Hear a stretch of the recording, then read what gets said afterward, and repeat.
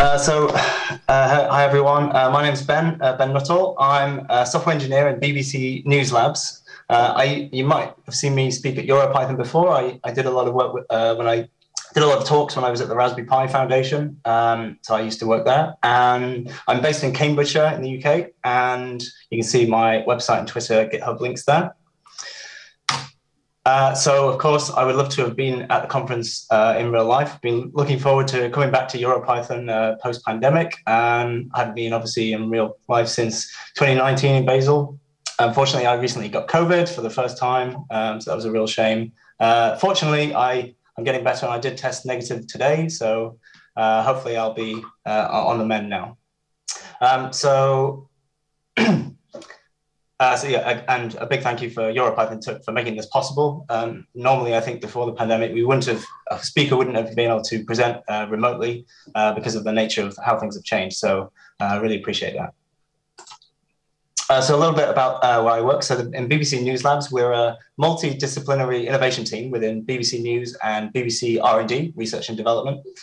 Uh, we build prototypes of new audience experiences, new things, new ways to get um, content to audiences.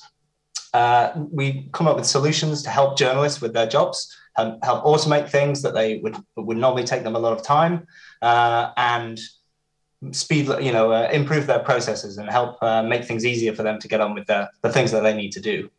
And we also do a lot of research and, and we try out lots of ideas that uh, don't necessarily immediately solve problems, but we think there's something something worth investigating and seeing what we can do. Uh, we like to build prototypes and just uh, see what happens. Uh, we've got a website, bbcnewslabs.co.uk. We write up all our projects and um, and write blog posts about uh, the ways we work. And we have uh, a presence on Twitter, BBC News Labs. Um, so uh, what I'm going to be talking about kind of covers uh, some projects I've worked on in recent months, um, particularly these three. So uh, we, we, did a project called IDX, which and also this kind of gives you a context to uh, the kind of problems we're, we're working with. Uh, so IDX, identify the X, means uh, was a project where we tried to automate the clipping of um, live content in live radio uh, to get it ready for social media. So if something is said on air that um, would be worthwhile, sort of taking that clip from from something, whether it's local radio or national radio. Um, it's nice to be able to resurface that individual clip of that person saying a thing or a whole interview or something like that and be able to tweet that out you know as a as a as a, an audio clip and we the process for doing that is a kind of real painstaking, long process that um, takes a lot of effort and lots of steps. And you know, it's it's it's one of those things. It's it's kind of it's worth doing for that one time you really want to do it. But sometimes it would be nice if it was just automated, so you didn't have to spend all that time doing it for just smaller things that might not be as as big impacts, uh, or you might not think as be as big impacts as they could be.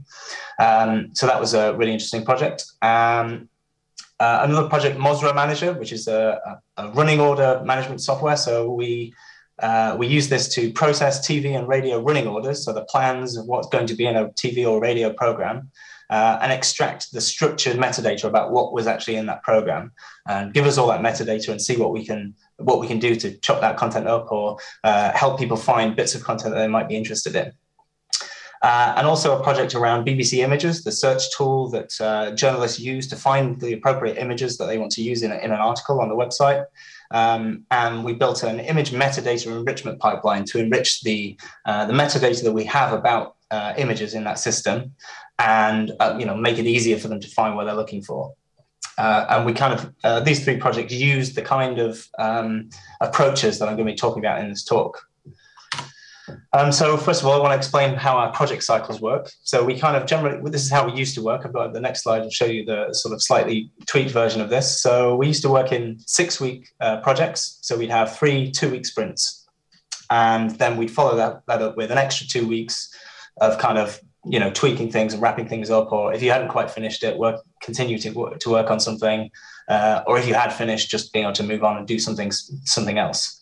Um, and more recently we moved to a, a we introduced a kind of uh, bookended uh, version of that. So there's still the six weeks in the middle the two weeks the three two week sprints. We now introduced a, a week dedicated to research before you get started because and that gives you time to uh, speak to journalists and figure out what's going on and uh, figure out the systems before you actually start your sprint planning. Um, and then we have a week to just wrap everything up. Uh, and then we we have uh, a period that after that kind of big project is complete, we have a small project cycle, just two weeks. You can pick up something new or um, try out a new idea that something that might become a big project in future and that kind of thing. This kind of helps us not just continuously run over projects going back to back using that extra two weeks, um, and it gives us a way to uh, you know to build up that momentum in the first week and wrap up without adding new features in that final week, and that seems to work really well. Um, so um, projects tend to start with uh, ideation. So there's always something to something we, that we're beginning with. So um, a, a, a, kind of rough idea of working in a particular area or working with a particular system or in a particular problem domain. Um, but from there, it's kind of down to the team members to determine, you know, what it is they're going to spend their time doing and what they're going to try and achieve and what they're trying, trying to build. Um, so we, we kind of have these department-wide objectives of what you know things that BBC News is trying to do. So trying to reach underserved audiences, for instance, is a big part of what we're what we're trying to do. Um, we kind of start with start with those, and we devise how might we statements. So how might we achieve certain subject? How might we provide find ways to get content to this type of people that kind of thing um, start with um, how might we statements and come up with loads of ideas that might you know, off the top of your head, what would solve that problem or what might be worth investigating? And we have this concept of explode and converge. So you start really, really broad, um, thinking about all sorts of different things, really, really, really wide thinking, cast the net really, really far. Don't worry about how stupid an idea sounds, just get everything down. And then, you know, do a sort of separate session after that okay, let's converge down onto these certain things. Let's look in, you know, these are all quite um, similar ideas or in the same same vein, trying to achieve the same thing. How might we actually do that? And kind of converge into certain ideas based on that.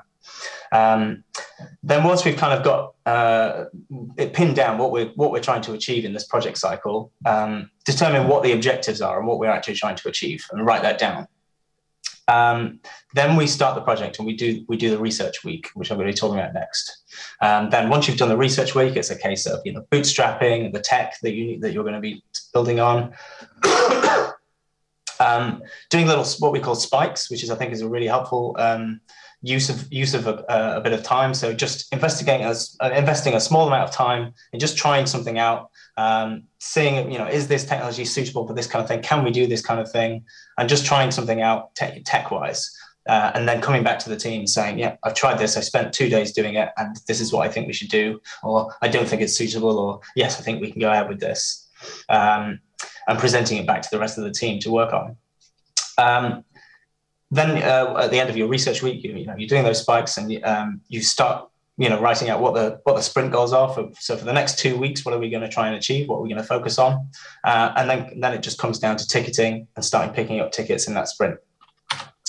Uh, so about the research week so the main things to do there are um, identify the stakeholders uh, so work out you know is it is it certain types of journalists in local radio that you need to be working with? They're going to be using this this tool that you're going to build or they're your kind of your audience. Um, set up calls with journalists um, and you know start talking to them start building those relationships um, and asking questions figuring out what it is that they have problems with uh, or what they're trying to achieve or what um, you know everything that they know about uh, what you're what you're trying to uh, discover. Um, and uh, learn about the existing systems that you're working with so we generally don't tend to you know just turn up with a whole new piece of software and say we want to use use this instead. Uh, we've built it instead of that other system you use. We tend to try and avoid, if at all possible, avoid them changing their workflows. So we build on using existing tools and extracting data from those existing tools they use, uh, or automating the passing of data from that tool to the other tool, that kind of thing, so that we're um, able to let them get on without having to learn new things. Uh, and, and stop the, the, the system, stop using the systems they're already using and already used to.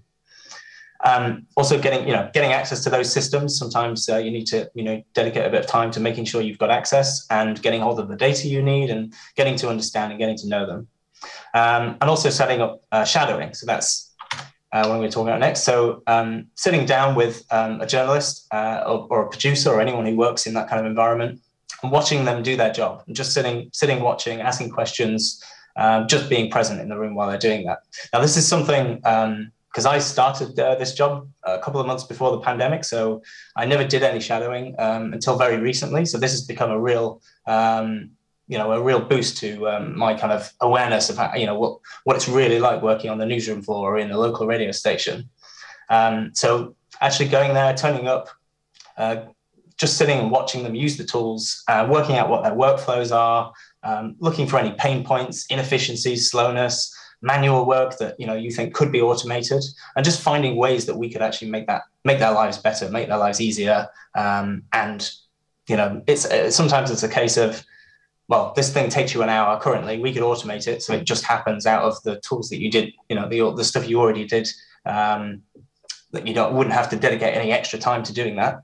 Um, sometimes it's a thing that you know it's just not worth doing, and you know because it takes so long. So if we can just provide all these things for them that they can use, um, can make their lives a lot easier and get more stuff out um, to audiences.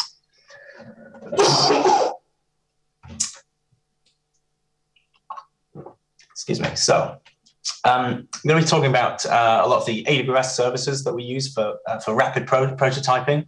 Um, so this, uh, a lot of what, what we use is things like Lambda functions. Um, I'm going to be talking a lot more in detail about each of these, but Lambda functions, uh, step functions and state machines, um, databases that AWS provides, um, things like S3 for, for, file storage and SNS, SQS, that's notifications and queue systems, um, and uh, and CloudWatch, which is a, a, a, AWS's logging tool.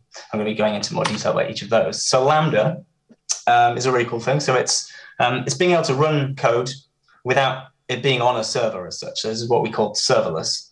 Um, so it's just a piece of code, uh, a function that just you know it's just a thing that does a particular job and can be triggered sort of asynchronously or you know separately from anything else um, and you just you just get billed for the compute time that you use. So if you have a little job that goes right, every time a, a photo arrives in S3, send it into this lambda, do the do the function. So you know, I don't know, uh, what was this example? Uh, lambda is triggered. Lambda runs image resizing code. This is one of the examples from AWS. Um, just resizes that images to uh, that image that's been uploaded to various sizes and and just spits that out and sends it on to where it needs to be. Um, and it's just that implementation of that tiny little thing, that small task, rather than that being on a server that might get overloaded with, you know, might be sitting there for a month not getting used, and then all of a sudden get a thousand requests because somebody's just uploaded a load of photos. So the way Lambda works is there's just a separate instance of that code being run every single time um, that, it, that it's called. Uh, that it's triggered. You can you can write lambdas in Python, in Node, in Go, all sorts of other things. Um, so it's really handy for this kind of thing. Um, so as I say, you pay for compute time rather than uh, paying for provisioning of servers. So uh, and it's and it's very very cheap to run as well. Uh, so step functions and state uh, or state machines are uh, a kind of workflow for lambdas essentially um, in AWS. So you can design a workflow of you know this function gets called and then and this and then it passes data onto this function then, then it calls this function and then it sets off a parallel job and this thing happens. And you can design what your workflow is of how some code should or how a, a sort of procedure should be structured um, whether it's data processing pipelines or just a series of jobs being done to something. Um, that means you can kind of implement something and just have a lambda that just does one one small thing um, and then passes on to the next thing and that has its own job and that can do its own thing in its own way without being this kind of uh, monolith um, you know, system which uh, which does everything. You can kind of isolate all the little environments. They could even be implemented in different languages if you like, um, and use different you know requirements and have different dependencies and all that all that kind of thing. You can define the behavior of how it should do retries or how it should handle failures uh, parallel parallelization if things don't need depend on jobs don't depend on each other. You can do all, all of that kind of thing in uh, in the designer. Um, so here's an example of, of uh, where we've used one in the running order project. So um, you kind of the way it works is you you execute the state machine with given some initial data. So like you know in this case it was the run the ID of the running order and it goes and fetches that that running order file and extracts some data from it, passes that on to the next piece piece of the uh, of, of, the diagram. Um, passes the data on, um, and then there's a parallel path. So it goes off and does two separate things. Um, and basically, the whole um, Lambda, you know, kind of, uh, sorry, the whole state machine has this, uh, has a success or failure criteria um, as to whether everything's been done. And you, you basically get a thing saying whether the state machine execution succeeded or failed. And you and, and if it fails at any point, so here's an example of failure, you can see where it failed and you can just click on that and see the exception of what caused that, uh, that failure. So you can see in the larger picture what, what actually happened. You've got really easy access to all the data that was, you know, that it was passed, uh, the exception information, and click through to the, the Lambda logs to go and see exactly what came out of the logs for each specific Lambda. Um, so it works something like this. You have you define a Lambda handler function, um, uh, that takes uh, an event, which is the data that is being passed in. And essentially, what you might do is takes, take that uh, piece of that data that it was given, do, a, do something to it, uh, and then uh, push that push that that new data onto that onto that event and pass that on, and then the next lambda receives the new bigger version of the event. Um, we're actually using something called Pydantic um, to uh, do the data parsing. So this is ideal for what we use because you can validate and um, sort of uh, you can you can validate the, the lambda's input data and also the configuration, so the envi- the environment variables that define how that how that thing should behave. Um, so Pydantic works uh, by defining models using uh, type hints. So this is really easy. Uh, you just say, okay, the input event takes a file ID, which is a string, one of these, one of these, which is a date time, one of these, which is a time delta. It even does all the parsing of those types for you. So obviously it's coming in as JSON and uh, it will just take that JSON string uh, and turn it into a date time or into a time delta object uh, or you know a list of strings or whatever. And then you've just got some data. You know exactly what shape that data is. Um, you can also define optional fields. And um, and so all you need to do is pass in that in that entire uh, all those keys from the uh, keys and values from the um, event dictionary that comes in, and then you and then you have access to it uh, rather than using dictionary notation, uh, using dot notation. So you can and you can also do nested uh, structures as well. So it's really nice to nice to use, and you just know you've got the right data that you need for to pass it on to the next stage. Um, it also uh, handles settings, so uh, your configuration um, in environment variables, which is uh, easy to do in, in Lambdas. Generally, how you how you provide certain um, distinct settings between different environments, test and live, for instance.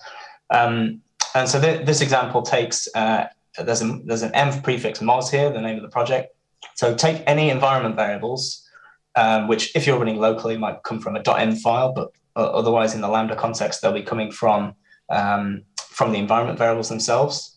Um, so anything that starts mos underscore goes goes into here, uh, but without without the prefix. So uh, cert file path as a as a uh, as an environment variable would get loaded into here, and then I've just made a little shortcut to uh, cert, which means uh, go, go and make a tuple out of these two bits of data and return that as the certificate and then I'll use that in something like this. So if I need to send a request to um, where I, I, need to authenticate using a certificate that is provided by uh, the uh, provided within the Lambda, um, then just use settings.cert because that's looking up uh, this thing here from the environment variables. Uh, but it also validates that you've got everything you need to run the code. So that's really handy.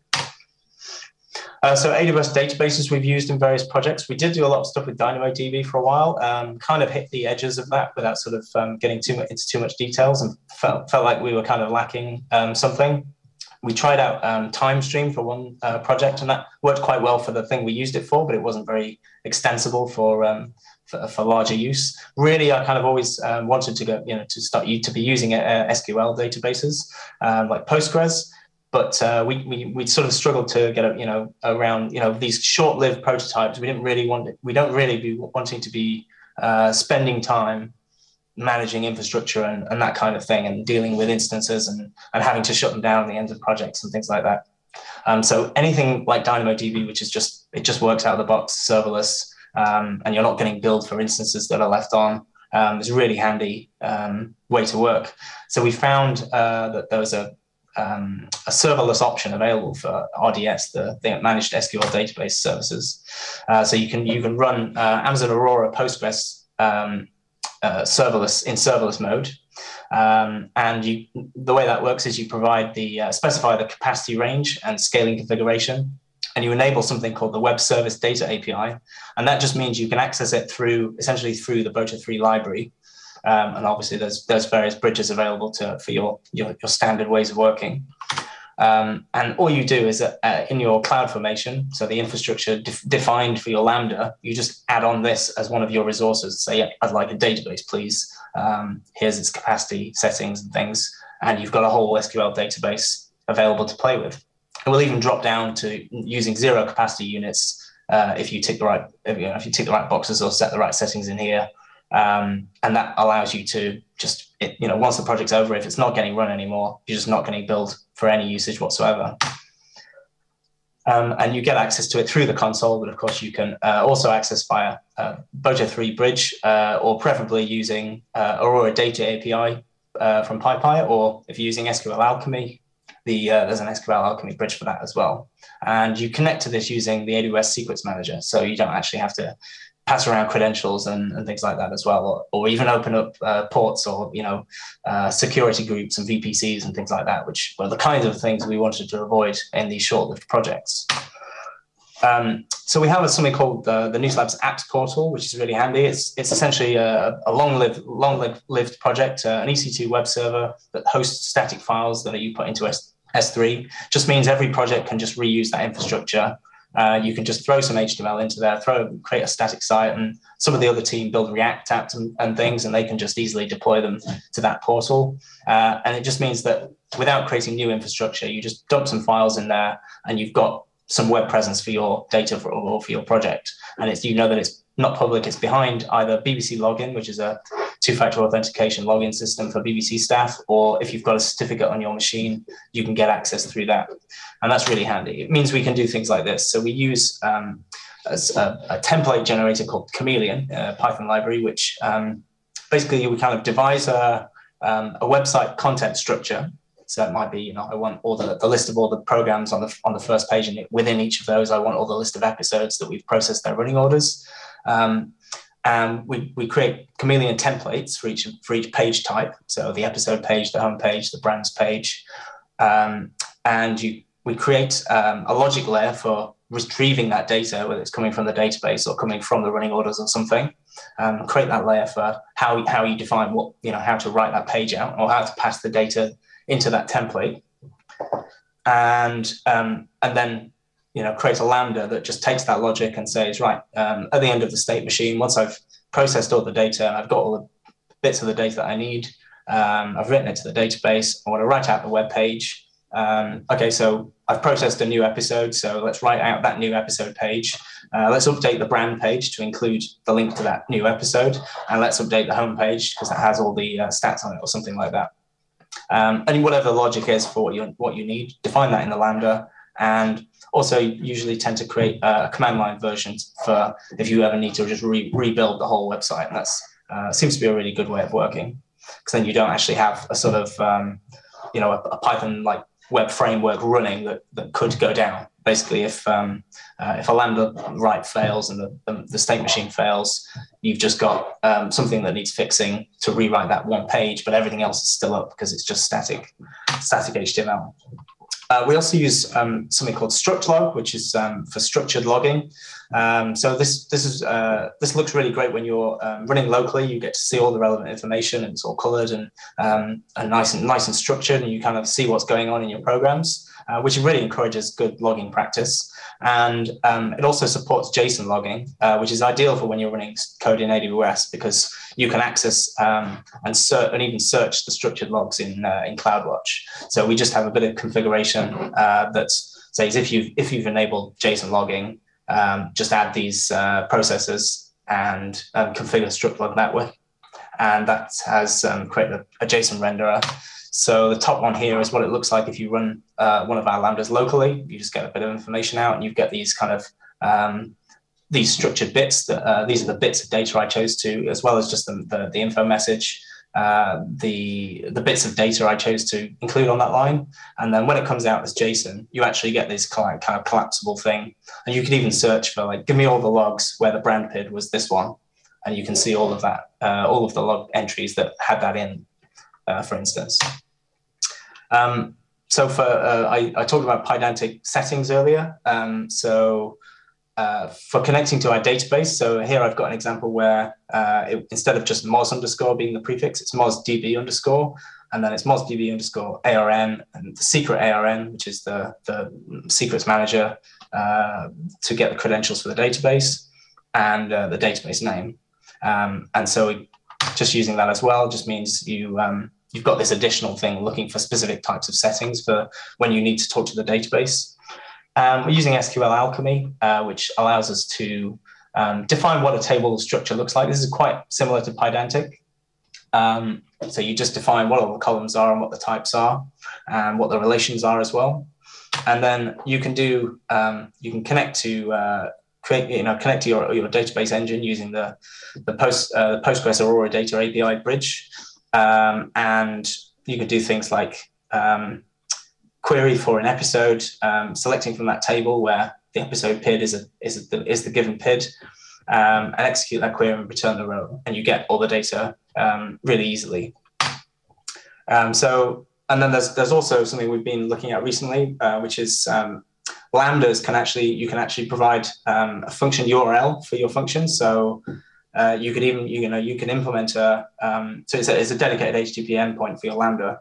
Um, which allows you to you know build a, a RESTful API, for instance, um, you know in this serverless context. So without having to spin up servers and have dedicated machine running your your API, um, you can just define it in a Lambda, and with that endpoint, it means you can just throw data at that at that API and and get your data back.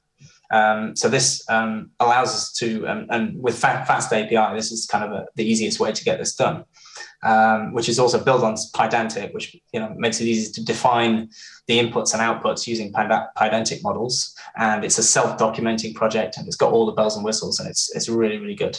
Um, so essentially, with all of these tools that we're you know talking about, you you, you get practically for free. You get you're getting a um, a REST a serverless API for your serverless database, and you you know you haven't had to manage all these uh, all these you know resources and, uh, and, and instances, which is really really handy for for the kind of rapid prototyping we do. Um, and you can easily add authentication to that as well. And just to just to finish off, um, just the, the learnings from these projects because we you know we we work fast and we we've just got these sort of eight week project cycles, uh, trying to achieve something in that small amount of time without getting your head you know uh, bogged down in the detail of the infrastructure and all that kind of thing. You get chance to just try new things every project cycle. Um, you take those learnings onto the next project. So there have been times when we've kind of taken one approach and thought, you know, this is this this seems like the right way to do it. You've kind of had gone through some pain points in that, and you know, it slowed you down a bit. And but then you you know you finish that project, you move on to the next one, and you go, you know, actually, it would have been better if we'd have used SQL Alchemy instead of this other thing um, in this project that enabled us to get uh, to hit the ground running and um, get get going really quickly on that next project. Um, we, using spikes to um, to try out ideas, just spend a day or two just researching something, presenting you know like a one pager, explaining your thought process and what you learned to the rest of the team um, is really really handy. Um, no project is perfect, so you know we're not striving for perfection in any of these. We're just iterating every single project cycle. Um, we don't tend to have um, any you know hard and fast rules. Um, just determine what's good practice and keep improving on that. Um, we don't get bogged down in this is the only framework we're allowed to use or anything like that. We do lots of knowledge sharing. So um, if somebody learns something in the team and thinks, oh, you know, it would be beneficial to lots of people in the team to uh, to get to know about, uh, about this thing. I've spent my two days researching it, or we did it in this whole project. I'm going to share to the rest of the team what we learned.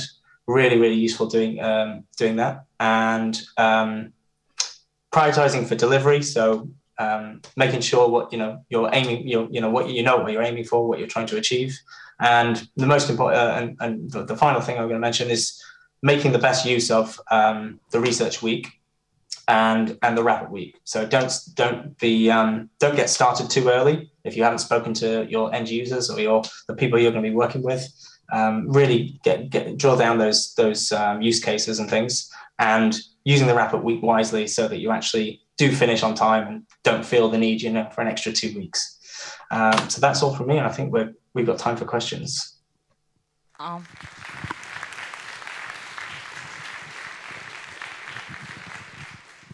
Well, that was a fantastic talk, Ben. I definitely learned a lot.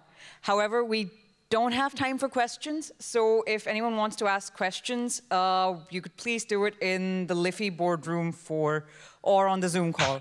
Uh, is that is that good? So yeah, cool. Thank you. Thank you, Ben.